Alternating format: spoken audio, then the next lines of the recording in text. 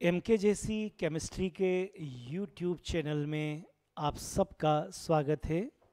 मैं doctor M के जैन आज हम एम के जैसी केमिस्ट्री में एक टॉपिक को देख रहे हैं कॉन्फॉर्मेशनल आइसोमेरिज्म देखिए कॉन्फॉर्मेशनल आइसोमेरिज्म नॉर्मली एल्केन में साइक्लो एल्केन में, जहाँ पर कार्बन कार्बन के बीच सिंगल बॉन्ड होता है, वहाँ पर ये कॉन्फॉर्मेशनल आइसोमेरिज्म होता है।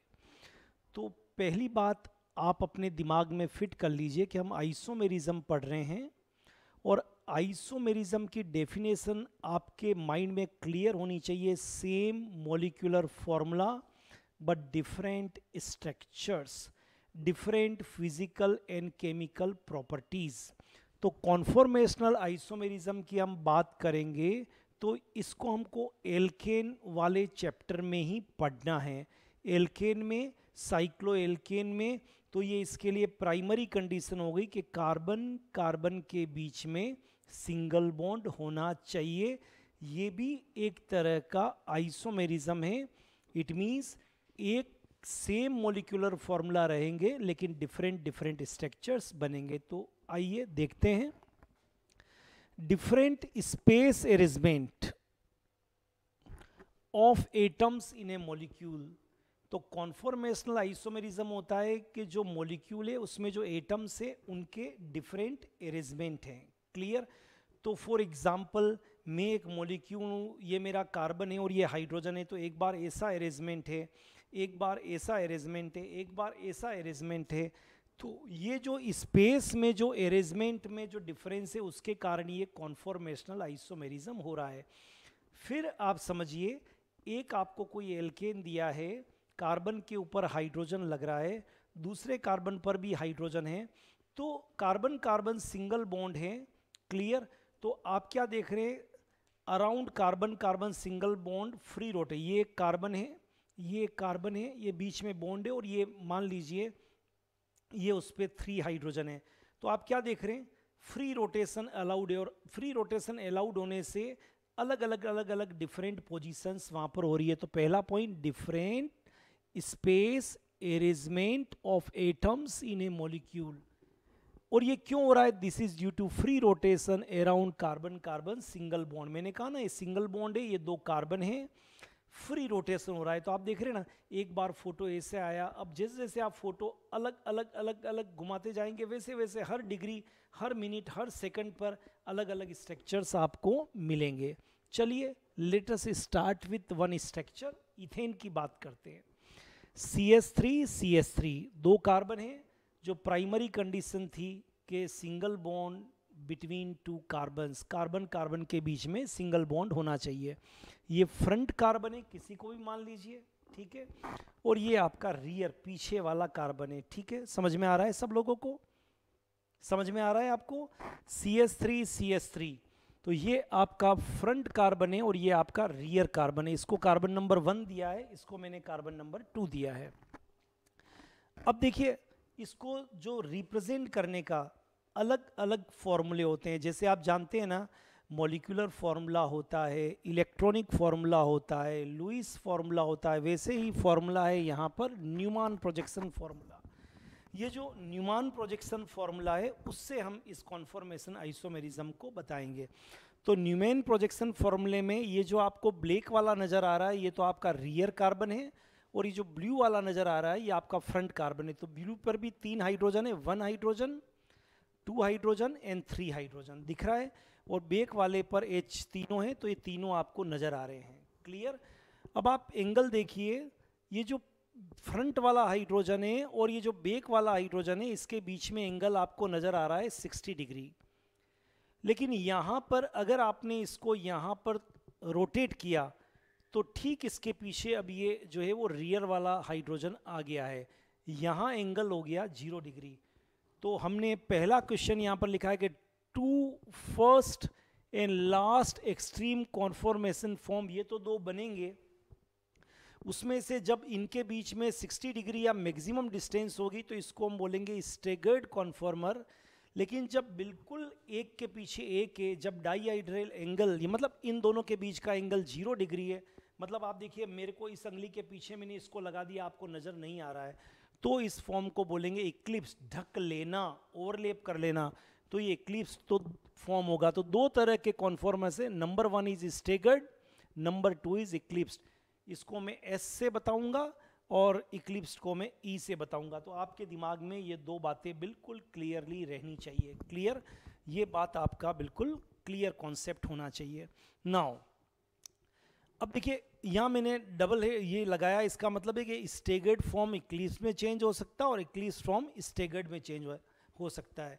अब ज़ीरो से 60 डिग्री, ये 360 डिग्री पूरा रोटेशन करेगा तो इन दो के अलावा जो भी कोई स्ट्रक्चर बनेंगे इनके बीच में 60 डिग्री और ये ज़ीरो डिग्री के बीच में, उनको हम बोलेंगे क्यों या या फिर इसको कई बार स्क्वे कॉन्फॉर्मर भी बोलते हैं एस के ई डब्ल्यू क्लियर इसके ई डब्ल्यू तो इनके बीच के जितने भी बनेंगे, जैसे ये तो आपका ओवरलेप कर लिया इक्लिप्स अब मैक्सिमम डिस्टेंस पे हो गया स्टेगर्ड लेकिन इसके बीच में जब हम घुमाएँगे तो 59 डिग्री थर्टी मिनट्स या 58, 57, 56 जो भी कुछ बनेंगे उनको इसके बीच के जो स्ट्रक्चर होंगे उनको हम ग्यूशे या फिर हम इसके कॉन्फॉर्मर बोलेंगे।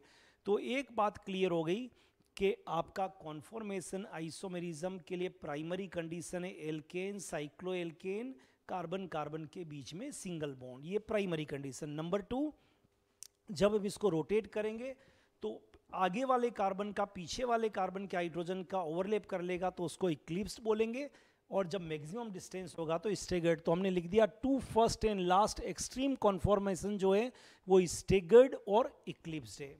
Clear between these two infinite number of conformation can form क्योंकि जब आप घुमाएँगे तो इनके बीच में इनफाइनाइट नंबर में बनेंगे कॉन्फॉर्मर्स तो कभी आपसे पूछेंगे कि स्टेगर्ड और इक्लिप्स के बीच में कितने बनेंगे तो इनफाइनाइट नंबर में आपके कॉन्फॉर्मर आपके आइसोमर बनेंगे। ठीक है? चलो, अब एग्ज़ाम्पल को देखते हैं। स्टेगर्ड में मैंने क्या बताया? मैक्सिमम डिस्टेंस पे है।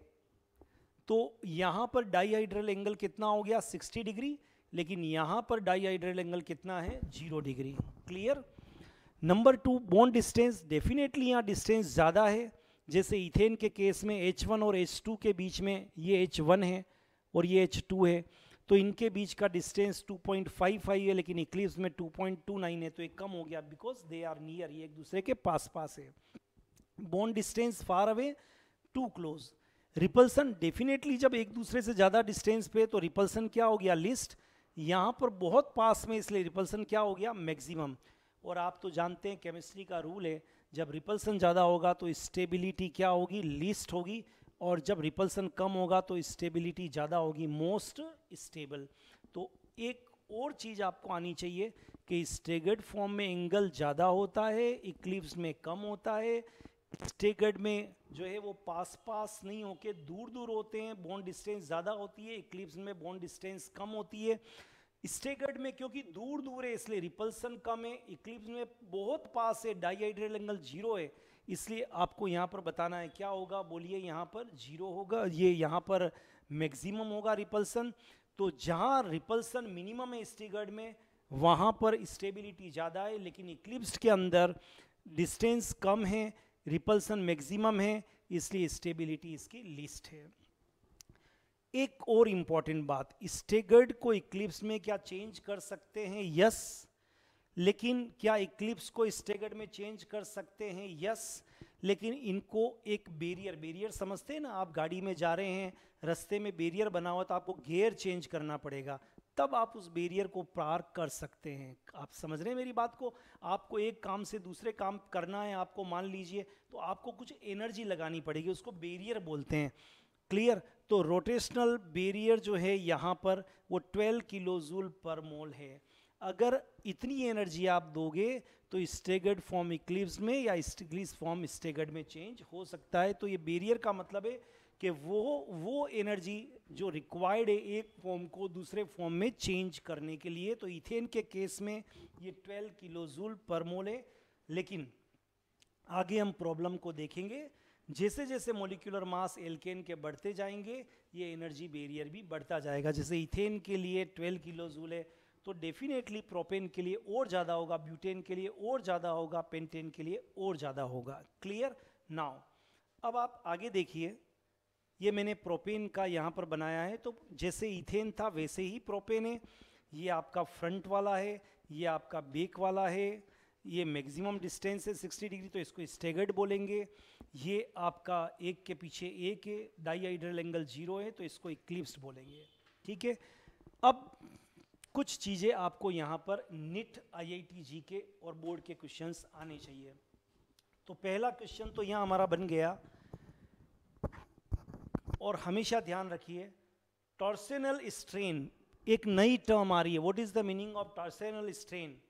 Repulsion field by close bonding electron ये जो इलेक्ट्रॉन है, यहाँ हाइड्रोजन और कार्बन के बीच हाइड्रोजन और कार्बन के बीच में, इन इलेक्ट्रॉन्स के बीच जो रिपल्सन होगा, उसको बोलेंगे टर्सेनल स्ट्रेन और मोलिकुलर मास बढ़ने पर ये बढ़ता जाएगा।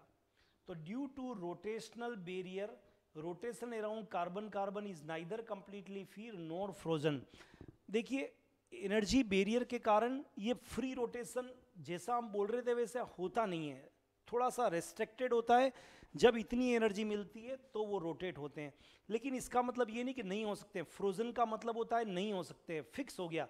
नहीं frozen neither restricted nor frozen बस एनर्जी बेरियर को आप अगर क्रॉस करते हैं तो इक्लिप्स को स्टेगर्ड स्टेगर्ड को इक्लिप्स में चेंज कर सकते हैं। क्लियर अब कुछ निट जी के क्वेश्चंस देखते हैं। पहला क्वेश्चन तो हमने यहीं कले कर लिया था, क्या ये एक दूसरे में चेंज हो सकते हैं? यस क्या चेंज करना पड़ेगा? केवल चाहिए आपको एनर्जी बेरियर तो कॉन्फॉर्मर्स कैन चेंज यस केवल क्या क्रॉस करना है? एनर्जी बेरियर और मोलिकुलर मास बढ़ेगा तो एनर्जी बेरियर बढ़ेगा. Conformers can not be separated ये दूसरा क्वेश्चन लेकिन आप एक मिक्सचर में से स्टेगर्ड इक्लिप्स को निकाल निकाल के अलग अलग नहीं कर सकते हैं। क्या रीज़न है?